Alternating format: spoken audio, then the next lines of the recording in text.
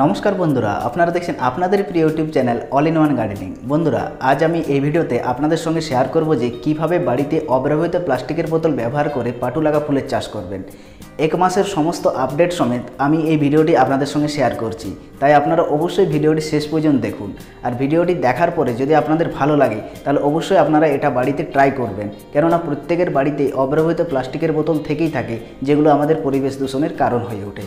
আর ভিডিওটি যদি ভালো লাগে তাহলে অবশ্যই কমেন্ট করে জানাবেন। আর আপনি যদি এই চ্যানেলে প্রথমবার এসে থাকেন, তাহলে অবশ্যই চ্যানেলটিকে সাবস্ক্রাইব করবেন এবং পাশে থাকা বেল আইকনে প্রেস করবেন যাতে আমি যখনই নতুন কোনো ভিডিও আপলোড করব, তার নোটিফিকেশান আপনি সবার প্রথমে পেয়ে যান। তো চলুন বন্ধুরা, ভিডিওটি শুরু করা যাক।